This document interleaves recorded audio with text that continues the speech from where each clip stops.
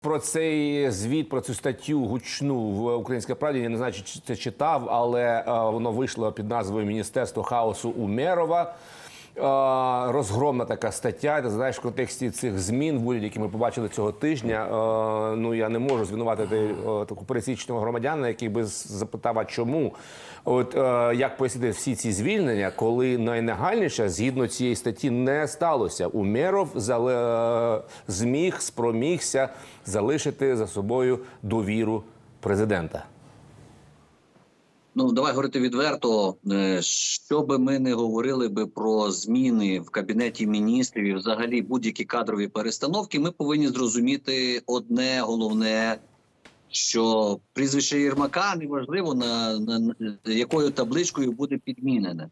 Оце саме головне. Справа в тому, що кадрова політика формується таким чином, що так дійсно президент погоджує чи не погоджує, але що він погоджує чи не погоджує? Те, що йому готують, те, що йому приносять почитати. А хто це все готує? Хто відповідальний за цю всю підготовку? Одна людина на планеті найвеличніший лідер сучасності за версією журналу Тайм. І, до речі, я зараз не про Зеленського, а саме про Єрмака. Що стосується Умєрова, ну дивіться, в нас зараз є дуже багато проблем, в тому числі і з Умєровим, тому що ні для кого не секрет ніколи не було секретом, що Умєров дуже має теплі, дружні, хороші стосунки з представниками турецької влади. А останнім часом ми бачимо, яким курсом дрейфує корабель Тур Туреччина. А він дрейфує в сторону БРІКС, туди поближче до Росії. Ну я зараз не кажу, що це вже зрада зрада. Я все таки Туреччина це країна НАТО, але наші західні партнери також занепокоєні е, можливостями ймовірностями передачі тих чи інших воєнних технологій. Я не знаю наскільки це спрацює, наскільки цей сценарій буде реалістичний в кінцевому варіанті. Можливо, таким чином Ердоган намагається е, сфокусувати увагу на інших проблемах, відволікти їх від внутрішніх проблем. Я не знаю, не можу зараз стверджувати, не є е, фахівцем по Туреччині. Але якщо ми це говоримо в прив'язці до Умерова, можливо, це ще якийсь один із мостків чи мостиків, які вибудовує команда Зеленського поза е, поглядами до НАТО, тому що ніколи не ділися стамбульські перемовини, на які посилаються Путін. І в той же час е, візит Зеленського і нещодавні вислови щодо Мінськ був поганий. От якраз говорить про те, що президент взагалі не розуміє самої причини цієї війни. Не мінськ поганий був, а передишки було нам мало. А вже як цією передишкою скористалася Україна, як ми підготувалися до війни, оце вже є відповідальність всіх і попередньої влади, і сьогоднішньої влади. Ну я зараз не хочу розмежовувати саме в цьому напрямку. Так, от ця історія повторюється. Що стосується таких більш земних, як то кажуть, проблем. е, Питання закупівлі, питання харчування, питання того всього зашквару, який відбувається в міністерстві оборони. Ну тут знову ж таки, давайте так звинувачуємо Умерова. Окей, а що в нас Умеров? І слідчий, да? У нас Умеров і суддя, і антикорупціонер, і викривач. Ні. На превеликий жаль, система антикорупційної боротьби дала колосальний збій. Сьогодні журналісти несуть головний тягар розслідувань. Сьогодні суспільство, те, яке небайдуже, несе на собі головний тягар ем, розголосу. А система державного управління в країні якраз таки пов'язана трішечки з іншими речами. Чи є Умеров в темі? Думаю, що так, бо за цей великий період ну навряд чи поза його увагою проходили ті чи інші зашквари з закупівлями. Чи є Умєров в долі? Ну на це питання має відповідати антикорупційне бюро, а не ми з вами в в етерах, бо звинувачувати людину легше легшого. Єдине на що би я хотів би сказати, ск- так скажем, позитивненько. Позитивненько це те, що відбуваються затримання, ніхто нікого не відмазує, і Умеров не виходить і не каже про те, що це були яйця, нібито мірялися в кілограмах.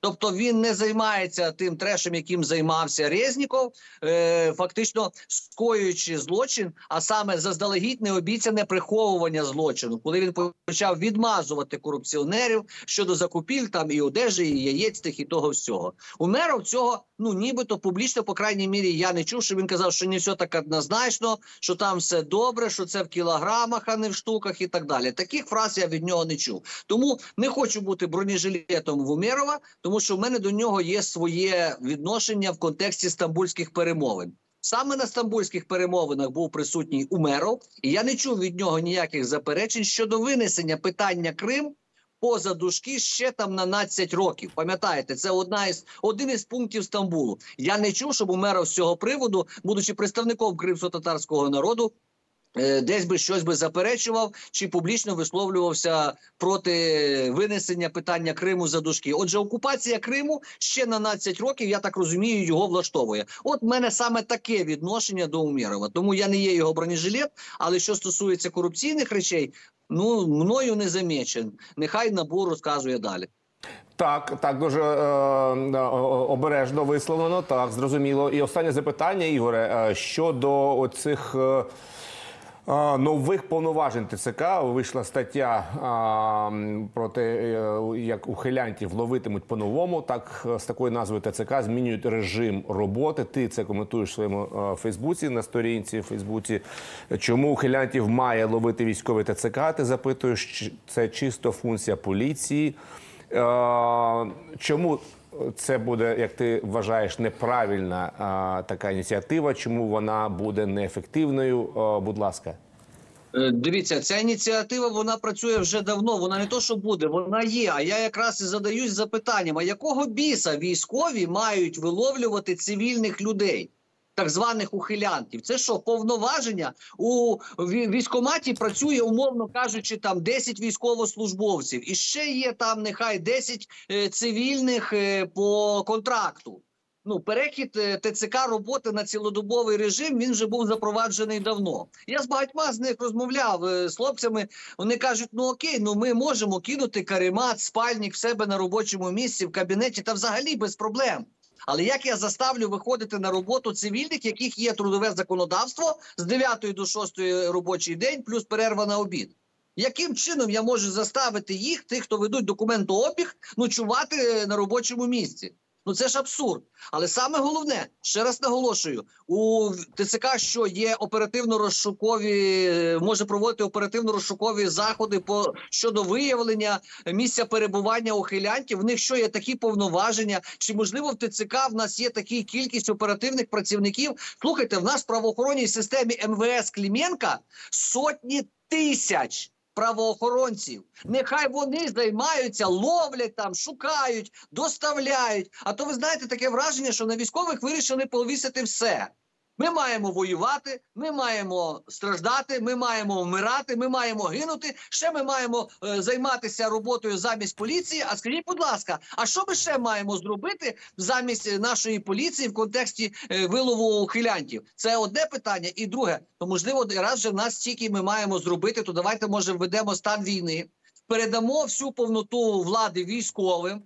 І нехай всі підпорядковуються військовим комендантам, а не якимось там військово-цивільним адміністраціям, які ніфіга не будують оборонні споруди, а тільки прожирають бюджет і маліною торгують, як деякі з них. Розумієте? Тобто, нехай тоді в нас буде стан війни, бо воєнний стан вводиться при загрозі вторгнення. І я знову ж таки запитую в чергове законопроект 7114, зареєстрований в парламенті 24 лютого 22 року. Наскільки я знаю, від президента України Зеленського щодо введення стану війни в Україні, де він дівся, де він пропав сайту Верховної Ради, що залишився від нього лише цифровий слід. Хто за це сів? Хто буде розслідувати це кримінальне провадження? Чому його ну це ж державна зрада? Президент хотів ввести стан війни, а з парламенту пропав закон. Ну що то законопроект? Що то за ерунда така? Ми в якій державі живемо? І я вважаю, що тут ну це ні, звичайно, якщо це було зроблено за мовчазної згоди Єрмака Зеленського. Ну то я що ж можу тут сказати? Значить, то така вже наша доля. Ми ж тепер вже маємо розхльобувати все геть. Але ще раз наголошую: хватить вішати на військових все. Коли генерал Залужний виходив і казав, треба до півмільйона мобілізувати, спаситель е, тилового життя Зеленський вийшов сказав: ні, ні, ні, це не треба, нащо нам так багато, а де аргументи. А сьогодні ми всі констатуємо факт, що ми не можемо зробити повноцінну е, ротацію солдат на війні, тому що в нас немає, так би мовити, заміни їм. А якщо в нас немає резерву у вигляді заміна, і ми не можемо зробити ротацію, то що відбувається з бригадами, які третій рік в окопах гниють на передовій? Вони вигорають. Навіть бойові люди, я вже скільки таких випадків знаю, які провоювали три роки, як то кажуть, вірою і правдою служили своїй вітчизні. Вони просто вигорають, кажуть, що я більше не можу, я не піду. Я не піду більше на, на, на окоп. І все. Ви розумієте? А спаситель нації зараз каже, так. Ну, військові ж хочуть мобілізацію, а я ж ні. А потім, ну, Кабмін там має зробити е, е, цей законопроект, внести, змінити законодавство. А що Кабмін? Відповідальний за мобілізацію у нас президент Зеленський у відповідності до законодавства України. Саме він відповідає за мобілізаційні заходи. І таких от речей на сьогоднішній день навішали на військових мох і болото. А тепер виходить Роксолана Підляса і каже: ви знаєте, грошей нема зарплати військовим платити. Ну, в мене все. Ну, в мене просто все. Ігоре, і цього всього достатньо, аби просто а, замислитись, як завжди, красномовно і змістовно. Дякуємо тобі, що приєднався до нас. Друзі, це був Ігор Лапін, спецпризначений офіцер ЗСУ, народний депутат восьмого скликання.